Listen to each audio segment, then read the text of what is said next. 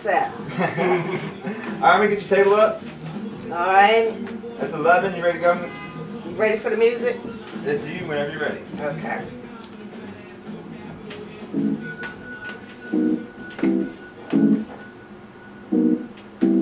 You want your mic hot?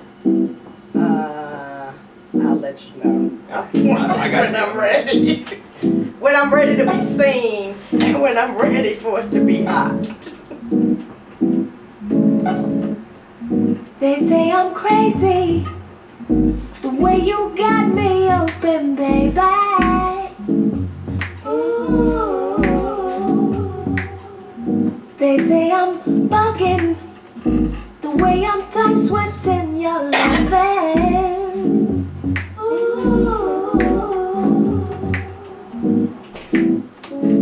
They all sit and wonder why this feeling I cannot hide. It ain't a question of pride.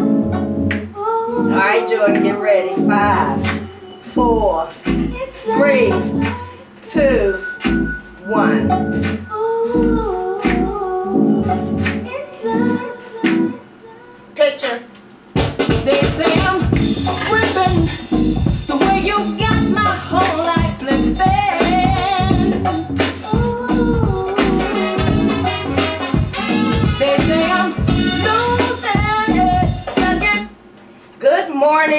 Morning, DMV. It's Taylor Love of Taylor Love Tells All Tragic Comedy Show. Today is Saturday, October 19th, and we have as a guest today Chasta, the organizer of the meetup group ID Social Connect. So we're going to be talking about interracial dating today. But before I bring Chasta on and introduce you to her, I'm going to talk about some things myself, you know, give you some statistics, a little background, and let you know what I think about interracial dating. So, first thing, my view on interracial dating, so many colors of the rainbow. Taste the rainbow. I am so open to interracial dating. If you can find love, I don't care where it is, find it. As long as it's not a child and it's not an not an animal and anybody disabled. Other than that, I'm open to it. My experiences during interracial dating is zero to none pretty much. I did go out with a Caucasian guy once, but he showed up as vanilla ice and so he really didn't want to be Caucasian. He looked it, but so that didn't go well. By the time we got to the liquor store and he got his 40 ounce, I was on my way back home. So that's my experience. But typically, uh, guys of different nationalities just haven't asked me out. Did we, uh, pardon me for a minute. I just want to make sure we push the record button. We and we did. Thank you, Wanda, aka the party planner. Amari, she's on probation because she just not has not been here to support the team. But Amari will discuss your performance when we get back to work. So anyway. That's my only experience with interracial dating. I'm open to it. If you ask me out, well, I ain't gonna say I'm gonna go, but at least I'm gonna consider it. The other, my other little half of an interracial dating thing, I think I talked about it when we were talking about uh, sexual myths and stereotypes. I went out with a black guy. He was half Japanese. the half Japanese portion was just not up to par. And so, but the black part of him had all the mouth, so that didn't work out either. So anyway, uh, we're going to talk about there are how many nationalities there are. There are 248 different nationalities. So I don't know why anyone would just uh, limit themselves to their own or just one or I mean it's just so many beautiful people out there, so much love to be had and you know we're all kind of in a mixed bag anyway. So i don't know that there are any purebreds left in the world at this day and age but you know that's up to you what you like. What's your flavor? Chocolate vanilla strawberry? I don't know i gotta put my glasses on for this part so you know i do a few studies get some stuff off the internet So I went to a uh, travel site and it listed the top five sexiest countries for women as well as for men. So the website is Miss Travel. I'm sure she's Caucasian, and I'm sure her travelers are Caucasian as well because her blog was phenomenal. So anyway, Colombians are the first top sexiest women, and, and- and I can mm-hmm. yeah. Mm-hmm. Most men are mm-hmm. shaking their head because you know who's from Colombia? Shakira. And There if you can wiggle like that, I'm willing to date her. You know, shit, I'm all for it. So Shakira, uh, beautiful lady that you are, she's Colombian, and I'm not saying all Colombian women can shake it like that. But where is Charo from? I don't know. But anyway, Colombian was number number one. The second was Brazilian. Third were American women. Fourth were Spanish, and then fifth were Russian. I think that the Russian women, some men like it rough. You know what that, I mean, here's your damn vodka. Come over here and do it to me right now. So, those were the top five for women. Now, the top five for men. And like I, this is what really made me think um, this is a Caucasian website, British. I don't know that I am all that on British. I mean, they're kind of pale. Their hair is kind of like. For me, I would put Italian first as uh, for the top five sexiest men or Colombian men because I like a little. You know, think you out there doing a little something bad on the side, and you got a dark tan. But anyway, the top five were British, Irish. Um, I don't even know how. Oh, well, Jordan, I'm not going to say anything about the Irish. Uh, oh, we have a new um, engineer. We have Jordan with us. Hello, Miss Taylor. How are you?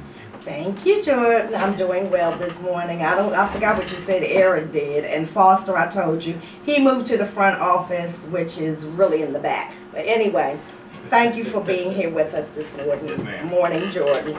Brazilian was number three. Four was Swedish, and five was American on that list. Now, then we talked about, uh, we're going to talk about the top configuration of interracial dating. I thought it would be African American men with white women. Wrong. The most common configuration is white males with Asian females, which I, I, I, I I'm still kind of miffed about that. I United States Navy. Oh yeah. Vietnam. Jordan brought up a good point. He said the United States Navy. So yeah, they pick up a lot of those um, Asian women, and I should know that I was at Clark, and everybody was getting one of those. Thailand, Filipino. Filipinos, um, Taiwan. So okay, now that you brought that to my attention, it kind of makes sense because they like their submissives. You, you Caucasian military men. Shit. And now we're going to talk about some of the popular couples that are interracial daters or marry. Seal and Heidi Klum. Now, if that's not black and white, I don't know what that. And you know, and like I said, I don't mind interracial dating, but Seal, he's really not that attractive, and she's That's like, a you know, goddess. she's beautiful so i don't know. Oh somebody's um gesturing to the crotch area but i don't know if it worked for them but i think they ended up breaking up and now they're just co-parenting. And then there's david bowie and Iman and Whoopi and Ted Danson. Now that's black and white all the way. Nothing gets blacker than Whoopi and nothing whiter than Ted Danson. But I love you, Whoopi. I watch you on the View all the time. I'm just saying. I'm just saying. But I love you. And then I went to pop culture. So we're going to talk about a little bit about pop culture. There's a movie out now with Ja Rule, and it's called I'm in Love with a Church Girl.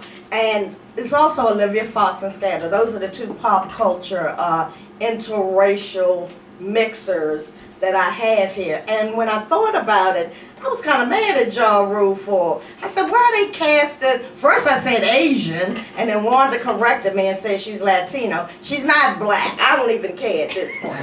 and so But with Olivia Fox and uh, I don't even know the guy, the president's real name on the show.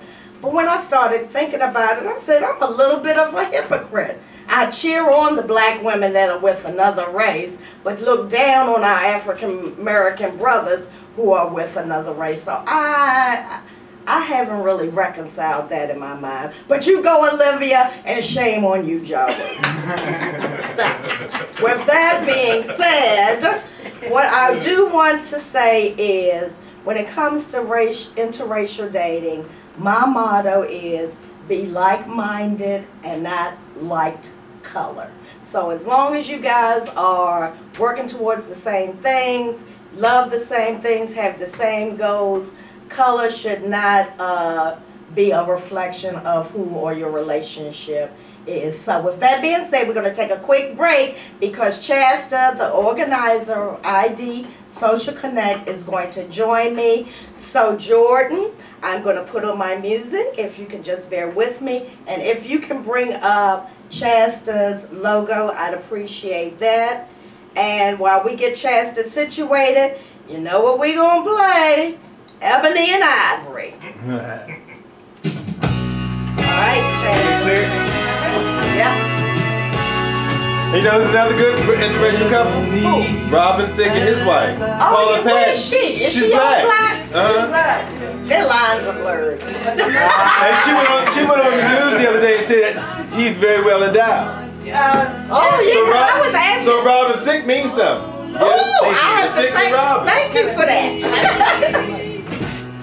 All right. Give us another second. We ready? You smooth? What time is it? You good? 11. Okay. You want to finish the song out? You No, that's out? too long. All right, you ready? Five, four. Two.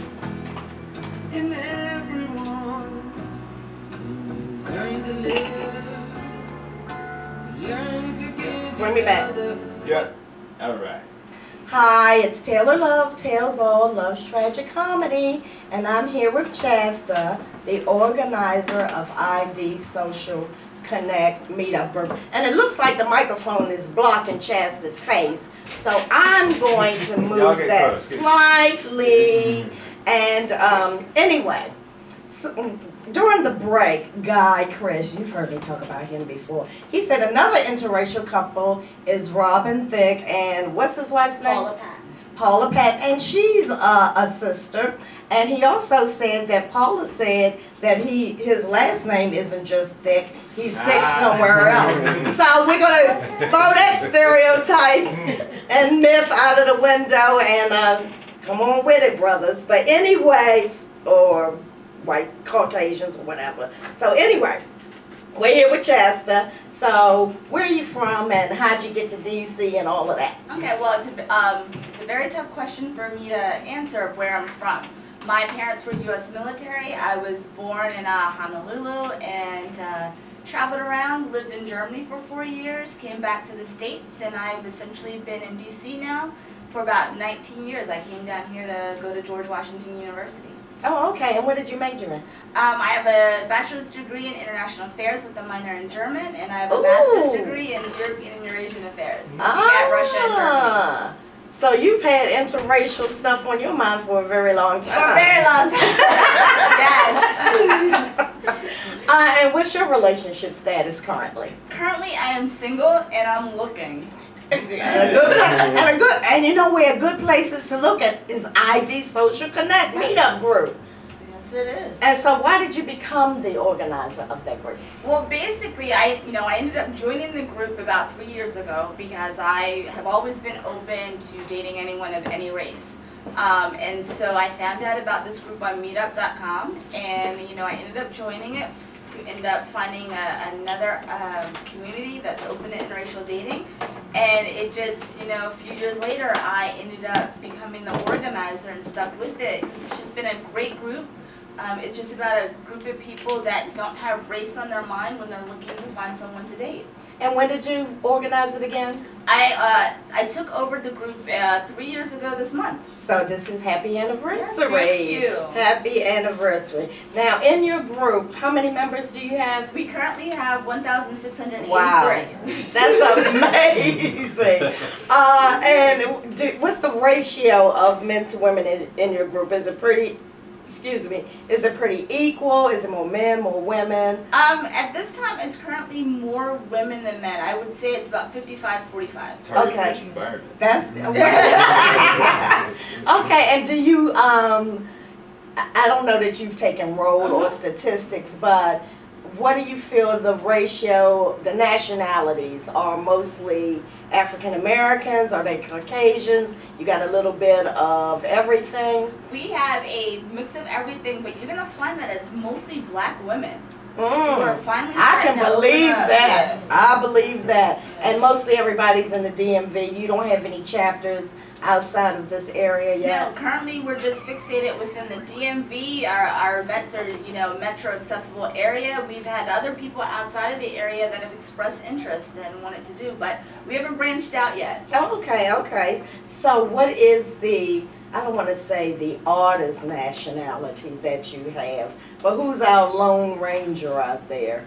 Do you have one that is of a nationality that you said, mm, I didn't even know that one existed? Because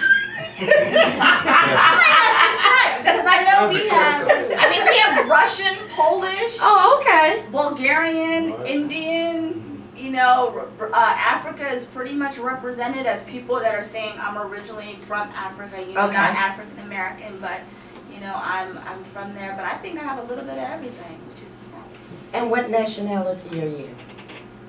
That's well, no, I mean basically it would be black. Both my parents are black. Okay. Um, you know, my mother's from Pennsylvania, my dad's from Alabama, but my mother's side of the family is mixed. So, you know, we've got black.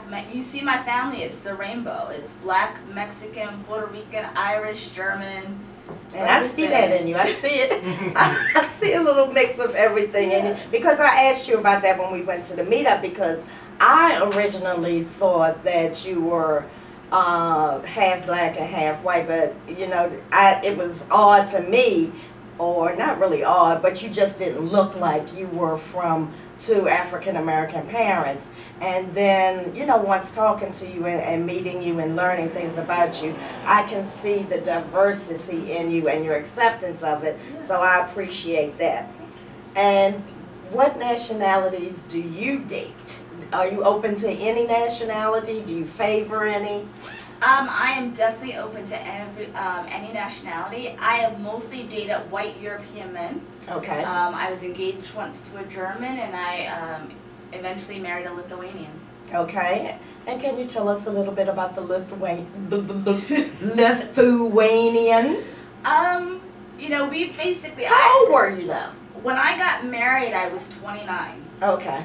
Um, and he was 28. He was a year younger. His mother was a diplomat working at the embassy here. Um, we ended up meeting on Yahoo Personals, which is actually the same place that I met the German that I was engaged to a few years before him. Um, I'm not having to go on that, y'all. well, I'm not sure if it exists anymore, to be Oh, honest. darn. Too late. You used them all up. Sorry. okay, now go ahead. But, um, so we, we basically met, and you know, um, I ended up learning that he preferred brown skinned women. The, the woman before me was Indian. Okay. Um, so he was definitely also open minded. We were just two people that didn't put race on any anything when we were looking for somebody. It had to be about the commonalities, you know, and things like That that. makes sense. You know, and he had traveled around. He spoke different languages, and so that's really what attracted me. You know, us to each other. It wasn't about race, and even his mother. Um, was very accepting of me. I mean, she did make a joke. Can you, before you get married, can you date at least one white woman? But I mean, she basically accepted me, um, you know, for who I was. So And let everybody know how many languages you speak, Jess. I have studied six, and I'm uh, picking up three. So three additional ones. So. And let us know what, Yeah. list them for us. okay, so growing up in Germany, of course, I took German. Um, I've also studied uh, Spanish, French, Mandarin, Russian, Lithuanian. I'm Wow. also learning Portuguese, Greek, and Danish. Wow. I'm hungry. So yeah. That's a smorgasbord. Come on, if I'm gonna travel and be a man, I That's gotta right. speak his language. And we are we air in a hundred countries. So here's your girl. Shout out. And if you like me, she can translate. Yes. So, anywho, do you have a? I mean, I know that you don't you you don't mind dating interracially, but do you have a particular view on African American men? Uh, do you date them? Do you do they not approach you? Or or how do you feel about them in general in terms of being? And I know we can't lump all our African American men into one group, but I can, you know, me being me, I'm gonna say what I had to say. But you being ID Social Connect, you need to temper your comments. But what do you say to uh? Let's just put it this way: hypothetically, if your girlfriend came to you and she might be a Caucasian, and she wanted to date an African American man, but she wanted you to give her the goods on him. What kind of things would you tell her? Well, of course, like you said, you know, I can't generalize them. Um, so, I mean, I'm not sure what I can typically say about an African American male. I mean, any male that you meet, was- regardless of his race, you've got to look at who he is. I'll skip to the chase. I don't want to come up. I, I don't want to. I can tell you what I think about him here in the DMV, but I'm gonna get. well, maybe you need to educate me.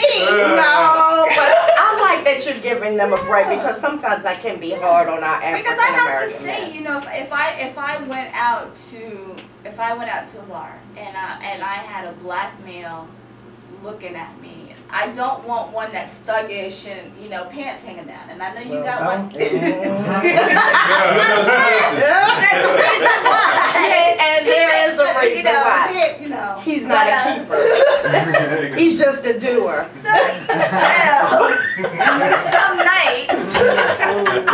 In the middle of the night. But uh dang, where were we? Oh so, I lost my train of thought. So I mean, if it's Idris Elba who's approaching oh yes, Lord. But he's British. but he's So he's still his skin is black. yes, his fam, you know, his Oh, family's from God. Africa, so. Yeah, but he did play Stringer Bell. That was one in The Wire, so that was. I, I You don't know about fine. The Wire? That- what? Omar! Bubble Snoop! Oh yeah, you know. So. I got married in Baltimore. Oh my God! Yeah. So yeah, when they were filming, but yeah, okay, I'll give our brothers a pass. I, I guess if I go to a certain place and I'm expecting, I'm gonna get a certain kind of guy. Yeah. And if I go to, uh, you know, a upscale place, then typically I'd find a better guy, be it black or white. So what it is. I appreciate that. Now, what do you do? You have any views on children of interracial couples? Any good things? Any bad things? Any things you want to share? Any stories that you know about? I mean, I think that the best thing, you know, being a product of it, of, you know, an interracial couple, you getting the benefit of learning two different cultures. I agree with Um, that. having grown up in Germany, I think that was the best part that I had the opportunity for years to be a part of another culture Mm-hmm. and to learn that my culture, being American, not saying black American, white American, but being American, I'm not the only culture that exists. Right. Um, there's other out there, and I think that's why, like as you see, you know, my punctuality and like Oh, yeah. Sometimes my accent you will find changed because of the different languages I've studied or different things. Mhm. So I mean, that's I think the best thing about being a product of a bi, uh, you know, biracial couple is to have that exposure to two different things. I agree with that. I, I like to. I like um, when children and when they come adults, they can blend a little better. They're not uh, feeling superior. uh, You know, my race is better than your race, and they have a lot more to offer. I think to the world. But there are some stigmas, and we're getting away from that. Yeah. Back in the day, even if you were the light skinned kid, or the good hair, or the green eyes, you were treated a little differently. And now people, I think, are, are more accepting of kids of interracial couples, and I'm glad to see that. Yeah. Now, my next question is, um, who do you think is least likely, what nationality do you think is least likely to date outside of the race, outside of their race? Well, being in the U.S., it has to be black women. And I think I think it's in the point where it was we were always taught to find a you know a good black man. That's what we had to marry. I mean, there's a book um, by Christelyn Kazan, uh, Swirling, and then there's uh, and she's black, married to a white man. There's Karyn Folan in the DMV who wrote a book about Don't Bring Home a White Boy, and, and Diane Farr, who was on Rescue Me and stuff, did her book of Kissing um, Outside the Lines. And in those books, it was basically the women are told, don't date outside your race. Now, Diane Farr, Diane Farr is white. She was told not to bring home a, a black um, or Puerto Rican. Um, she subsequently married Korean. But with the black women in all of their books, all these women say, no, you've got to bring home a black man. You do that. And one, and one of the stories in Christelyn's book, you know, the the woman asked her mom, you know, I've been dating these black men, and not to generalize that all black men would do Right. this, but he was like, he beats me, he doesn't treat me good. And the response was, but you need to marry a black man. Just go out and find one. Right, right. And it's, you know, and that's what we've been stuck on. And so the whole thing that we try to say in ID Social Connect is basically don't put race on it. It's not about the race. We're trying to find, um, you know, a man that has all the qualities that you Right. want. Wants kids. For me, it would be speaks multiple languages, um, is well read, has traveled, all of that. But I'm not to tie race on it at all. Right. Because there's a black man that has all of those. And if I sit there and say, well, because he's black, I don't want to be with him, I'm going to be missing out. Right, right. And so that, and that's why I think that we're having so many black women join our group because they finally realize it's not about the race anymore. I need to find me a good man. Right. And I've been great to have a mother who never put on it anything about race. She never told me don't bring home a Right, white guy. Don't color. bring yeah. It was bring home a man that treats you good. Outstanding. Kudos to that. now, in terms of like the DMV, we're pretty much diverse and we're Mhm. open. But as you get further down south, Mhm. there are uh, areas or uh, states that don't look too kindly Mhm. on interracial dating. Do you have any experiences or has anyone shared any experiences with you about, you know, where they're not so accepting of interracial dating? Well, of course, I'm, I'm not sure what prominent states you consider a label, whether it be like Georgia, Mhm. Louisiana, and anything like that. You have it everywhere. I mean, even actually in the DMV, you see it oftentimes, especially being a black woman walking down the street with a non-black male, we get the stares. But I, I give you the stairs to say thumbs up, girl. And see, and I have to watch myself too because, you know, oftentimes I would see a black woman with a non-black male, and my intent of staring is like you said, you're trying to give the thumbs up, and it may not come across that way Mhm. because she could also be self-conscious because most people um, have said something to her. Right, You know, right. why aren't you with a brother, and uh, you know this, that, and then some. So we have it pretty much, you know, everywhere that there's not accepting, and then of course the mix. So it could be in the South that it's if it's a white male with a black woman, they're looked they're frowned upon, versus a black male with a white woman. But if it's white and Asian, then it's like thumbs up there. You know, so even the even the I give all the sisters a thumbs Yeah. up. I don't care who she's with. If, I mean, Yeah. and I always, if I see a brother, I always like, mm-hmm, yeah. But I, I'm trying to get away from that Yeah. because, like I, but then that leads to um, people have to do it for the right reasons. And that and that's the whole and like They have to do it for the right reasons. And a lot of, like I said, back in the uh, 70s when I was just a toddler, uh, people were dating outside of, I want a, a guy with pretty hair. I want to, I want my baby to have green eyes. Or, you know, they would date white because that gave them status. Or even with some whites who wanted to date blacks, I want to be part of Mother Earth. So you see them come out with, they blonded and blonde from Sweden with dreadlocks and, and, you know, a kente cloth wrapped around them. So you have to go out and meet somebody for the right reasons, because otherwise it's not gonna work. No, it's not. And then you know, a lot of people also do it to rebel or defy their parents. Right. The ones when they're told, you know, I don't want you dating out of your race, and then you bring home somebody of that race because you're rebelling. And of course, it doesn't work because you're doing it for the wrong reasons. Um, and so that, and some people also do it because everybody else is doing it. Right. You know, it becomes a trend to date interracially or whatever, or you got pretty kids, I, I'm, I'm gonna do it, Right. or whatever, because I want to have a beautiful kid. No, I mean it doesn't work. That's like All going kids, into a relationship. all kids All are kids beautiful. are beautiful. And um, it's like you go into a relationship almost on a lie. Because, you know? Yeah, it's the setup. Yeah, I'm It's going a in, you got good credit, right? So. Oh yeah, that was, I, I used to check, what's your credit score? Yeah. That's gotta be seven hundred and above. Well, actually, Good that- God. that's even outside of race. That uh, there's actually a story about people when they go to speed dating. One of the questions is, "What's your credit score?" Because they don't want to in, uh, enter a relationship with somebody that has poor credit score. That's so that's not even a, that's not even a racial issue. That's a Right. line- Well, mine is to negative investment. two hundred. I can't even get a library card. So there you have it. Let's just get it out there right now. So, and we went out Thursday night at to one of your mixers. It was called Unwind and Happy Hour. Bravo, bravo, and we had a wonderful time. There was a mix of black and white. Mhm. Did you have any other nationalities? We had one woman there from Bulgaria, Mm-hmm. um, and a Latina. But yeah, And we had a, it was just, and it was equal men to women, I felt. yeah. And so um, I did take some clips from the Meet Up group. And so if you want to see those, you can check those out on my YouTube channel at Taylor Love Tells All. But how do you pick your events? Well, basically, the whole thing with the events are we want people to have an opportunity to mix and mingle. So every month, uh, every third Thursday of the month, we do a happy hour at a different location. Okay. Um, so I spread it out between DC, Maryland, and Virginia.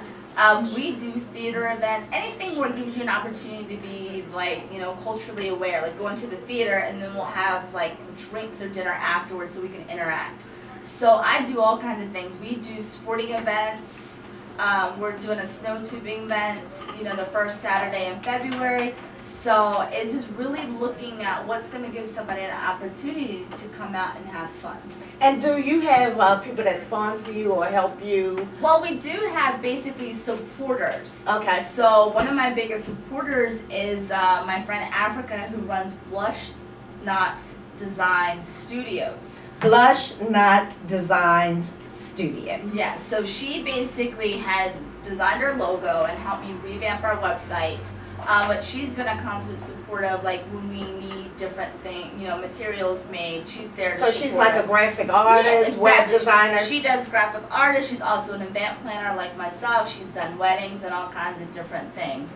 We also have membership perks done by our supporters. So we have one of our dating coaches, um, Amy Schoen, that you know if somebody wants to go to one of her events, they'll get a discount by providing that her